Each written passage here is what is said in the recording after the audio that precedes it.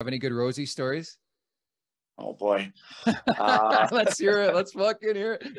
This guy tells me he's a beauty. well, probably my favorite was uh, uh, start of the year party. I had the whole team over at my house, and we had a I, we had a pool upstairs outside, and then it was about eight o'clock, and then Rosie got on the side of the pool, and he just he just yelled, "All right, time for the time for the wives and girlfriends to leave and the boys to get after it," and he just this cannonball, and it got really awkward, and like we're laughing because that was outrageous, but uh, you know that was uh, that was probably my uh, my favorite memory of this guy.